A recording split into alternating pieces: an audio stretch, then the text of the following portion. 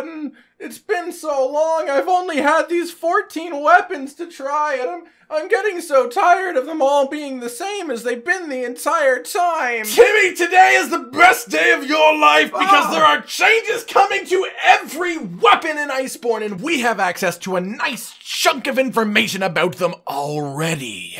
Starting off then with what I will happily label the death of the sword and shield, slingers have been massively upgraded and in Iceborne, every single weapon can use both the slinger and some items while unsheathed.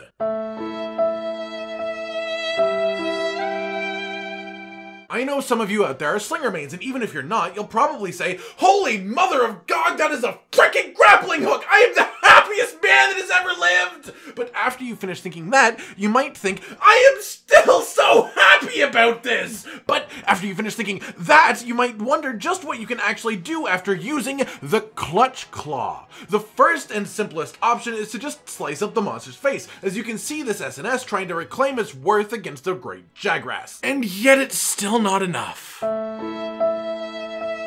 The other option that we know about is called the Flinch Shot, which unloads all of your current slinger ammo directly into the face of the monster and does what no one ever could have guessed by the name and flinches the monster. The interesting thing about this attack is that it flinches the monster in the direction that you shoot it, meaning you can actively use this ability to knock monsters into traps or even into walls or even into the true charge slash of that great sword user you are way too shy to ask on a date. Don't read into that. In Iceborne, all of the new weapons in Monster Hunter are getting a few new abilities and combos. All of them feel like little mini Hunter Arts from Generations, and some of them even fluidly use slinger ammo within their abilities, just like that greatsword user I just mentioned. The greatsword will have access to the ability to fire slinger ammo at certain points in their combos, and all slinger ammo fired in this situation has a very short range, but is also significantly more powerful, allowing you to flinch a monster quite easily. Yeah, that's right, the greatsword will be able to flinch a monster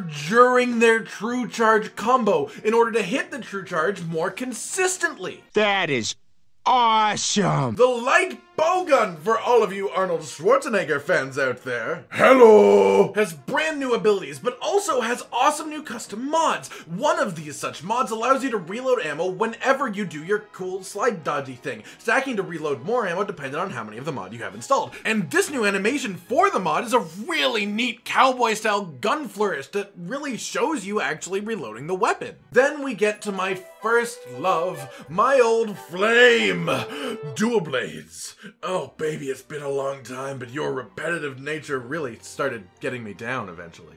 Wait, sorry, did that dual blades user just. That man has chain blades! Those are chain blades! Those are fucking chain blades! That's right, ladies and gentlemen! The dual blades can actually use the clutch claw in the middle of a combo to close monster while still attacking. This has got to be the single coolest change to anything I have ever seen in my entire life, and I am 100% considering being a dual blade main in Iceborne exclusively for this ability. Oh, and as if that wasn't enough, dual blades can also fire empowered slinger ammo while they are evading, somewhat similar to what the greatsword could do mid-combo. Everybody, please tell me you're as excited as I am because all of this information just makes me want to burst.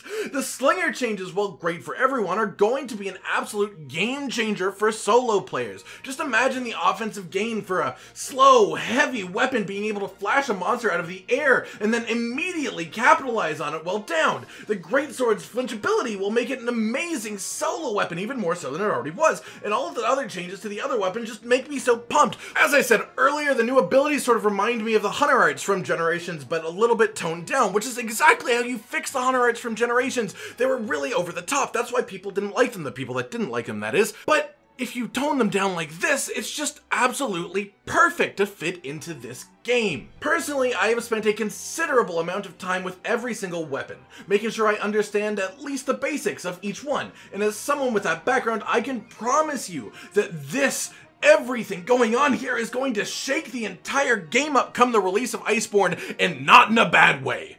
Alright everyone, I've been Cotton Dinosaur, these are the Iceborne weapon changes. Like if you liked the video, subscribe and hit the little notification bell for more, and most importantly, ladies and gentlemen, until next time, stay sweet.